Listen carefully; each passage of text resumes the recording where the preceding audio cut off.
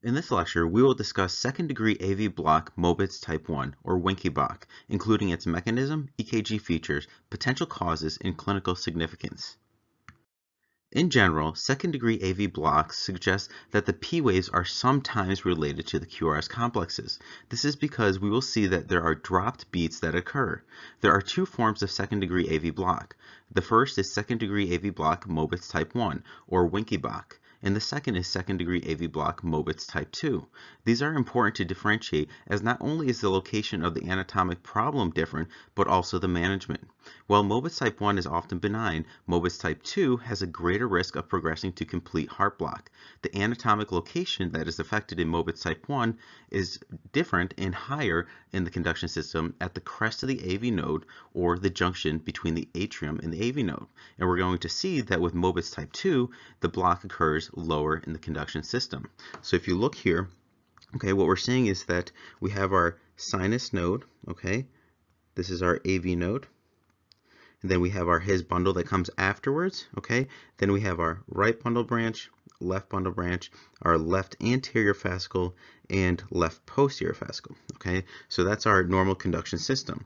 The issue here is with our AV node, okay? So these are AV blocks. It's going to occur near the AV node, and we're saying that oftentimes it's occurring right here, all right, at the AV crest or where the junction between the atrium and the AV node, okay? So imagine it right at this point there.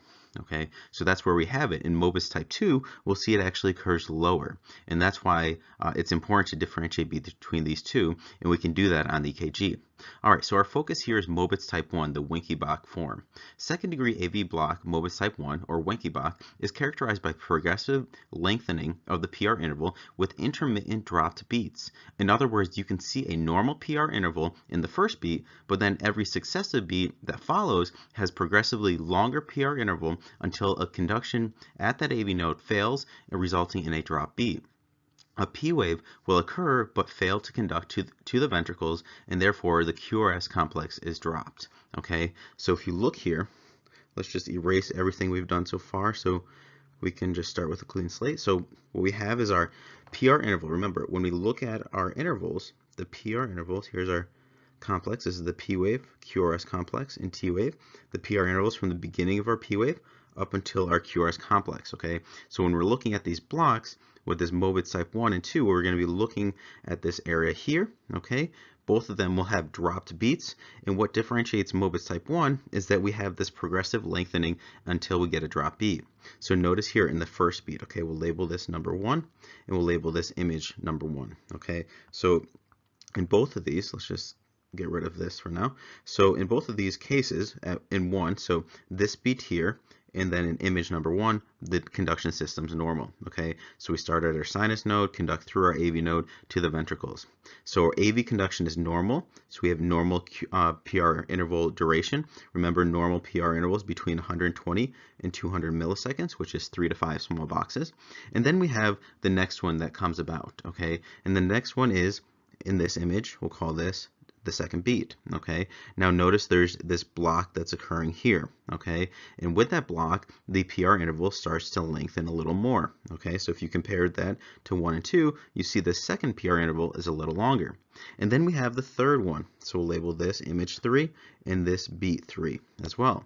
So notice that it's getting thicker here, okay? The block is getting thicker, and because of that, our PR interval is lengthening, okay? Until finally, in this fourth beat here, okay, the fourth beat in this fourth image, we have our sinus node that fires, so we have our P wave that's present, although we can't get through this area here. It's blocked so significantly that nothing can get past, and because of that, we don't depolarize or repolarize our ventricles, and we get a dropped beat, okay? And then again, after that occurs, we get enough time in between that the cycle then repeats itself, okay?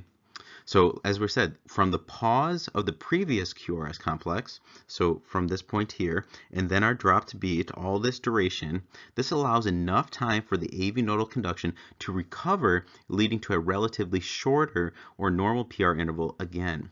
The cycle then repeats itself with the PR intervals progressively lengthening until a dropped beat. Okay, so we're saying from this dropped beat here, okay, or from that QRS complex, we get a dropped beat, okay, because AV node cannot conduct through to the ventricles. By the time that point all this area finishes, it gives enough time for the AV node to reset itself that we then go back to this area here, 1, where it appears normal, okay? So again, we have normal conduction through here, and imagine this as 1, and then we would go to 2, 3, and a drop bead, okay? And that cycle will continue to repeat itself, all right? Now, what you can think about, and one way some people like to remember, is longer, longer, longer drop. That's a sign of Wenckebach, okay? And what I mean by that is that the PR intervals here, it gets longer, it gets longer, and then eventually drops, okay? So just think of the PR interval getting longer, and that's one of the signs of what we call Wenckebach. So some people like that mnemonic. Okay. Now, a quick way to confirm that you're dealing with Mobitz type 1 is to look at the PR intervals both before and after the dropped beats okay? The PR interval after the drop B should always be shorter than the PR interval before the drop B, okay? So let's look at this now. We'll erase this here, okay? Clear this up for you. So again, we're saying that one way to confirm it is by looking at the PR interval. After the drop B, here's our drop B, okay? Nothing's occurring here in the PR interval before. And we always want to see the PR before or after our drop B to be shorter. So this is should be shorter or normal, and this should be longer, okay? Because we had enough time to recover that we're going back to our stage one where the PR or the AV node allows the conduction through it, and we should have normal AV conduction, and that's why it's shorter. Okay, so that's one way to confirm it if you're trying to differentiate uh, and see if you really have Mobitz type 1. Okay. Now this type of second degree AV block can be further characterized by the number of P waves associated, associated with each of the QRS complexes. So in our example here, we would call this a 3 to 2 Mobitz type 1 or Wenckebach. Okay, and what do we mean by that? Well, we're saying the P waves to QRS complexes, okay? So, or excuse me, we would say this is a 4 to 3, okay? So again, P waves we're looking at to the QRS complexes, okay? We're saying this one is 4 to 3, meaning that here's a P wave, here's a P wave, here's a P wave, and there's our fourth P wave. So 1, 2, 3, 4, 4 P waves, okay, and then QRS complexes, 1, okay, our first one, our second QRS complex, our third QRS complex, and then we don't have one here. So that's 4 to 3 we call this. Okay, so 4 to 3 Wenckebach is one way. Okay, so just a few more points here. So second degree uh, heart block, Mobitz type 1, is a reversible conduction block that is believed to result from a diseased or injured AV node with a long refractory period. The malfunctioning AV nodal cells progressively fatigue, which is reflected in the progressively prolonged PR interval, until finally failing to conduct an impulse, reflected in the dropped beat. Some causes include an increase in vagal tone, such as in athletes. Inferior infarctions can cause it. Myocarditis, especially Lyme disease. Mitral valve repair, if you're in that area, repairing the mitral valve. Okay, so remember our mitral valves be, uh, in our left atrium and left ventricle. So in this area, sometimes uh, people that have mitral valve surgery can have uh, this area affected. And medications can also cause it. So beta blockers, calcium channel blockers, digoxin, and amiodarone. Now, clinically speaking, Mobitz type 1 is often benign with little to no hemodynamic instability. It is, uh, has a low risk of progressing to third degree or complete heart block. Asymptomatic patients don't typically require treatment. If it is a consequence of Lyme disease, obviously you want to treat the Lyme disease and it often resolves. Now, symptomatic patients may benefit from atropine, but rarely require permanent pacing. Okay, and this is important. We'll see in Mobitz type 2 that this can Mobitz type 2 can actually progress and has a greater risk of progressing to third degree or complete heart block. And sometimes those patients, uh, more often than Mobitz type 1, may require permanent pacing. All right, let's briefly run through our chart before we end here. So Mobitz type 1 or second degree uh, AV block Wenckebach, this results from progressive PR interval lengthening, okay, with intermittent dropped beats. Okay, remember that longer, longer, longer drop, that's a sign of Wenckebach you have trouble remembering it. So it's a re reversible conduction block at that AV node or the atria to AV node junction. Okay, there's malfunctioning of those AV nodal cells that progressively fatigue until they finally fail to conduct an impulse. Often you have an injured or diseased AV node with a re long refractory period. We mentioned a number of causes, clinically often benign and usually no uh, hemodynamic instability. Okay, now in terms of the regularity, this is a regularly irregular beat or rhythm because we have that dropped beat, okay? So that drop beat makes it all our uh, intervals, okay, irregular. The rate depends on the underlying rhythm. The P waves, they're present with same morphology and axis, okay?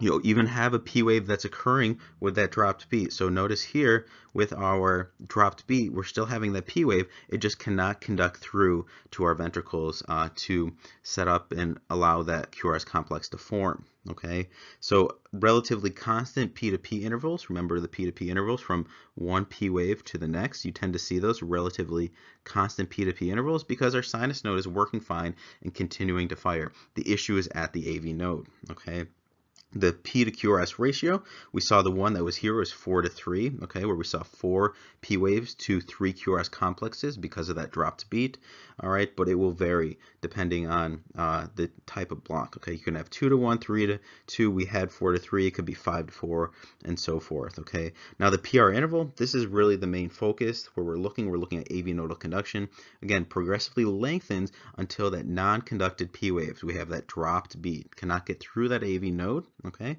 And one other thing to note is that the longest PR interval is immediately before, okay, the dropped beat. So the longest PR interval is this one here before the drop beat. This is our drop beat. And the shortest PR interval is immediately after the drop beat. Okay, as the AV node recovers, this is the shortest PR interval. And one way to check it, remember, was that the PR interval after the drop beat should be shorter than be before the drop beat. Okay, so this should be shorter than the one that came before. That's a good way to check it. The greatest PR interval is often between the first and second beats of the cycle. All right, so we're meaning that from this point to this point, you tend to have the greatest greatest increase in the PR interval, okay, but it's a little more trivial fact. Now the QRS interval is normal, okay, so even once we get through our AV node, everything below in the ventricles should be fine, okay, unless there's some pre-existing thing going on. So normal QRS interval, there, should, there could be grouping, okay, as we saw here, but it, can, it will vary, all right? And we obviously have dropped beats. We saw the drop beat because we could not conduct through to the ventricles.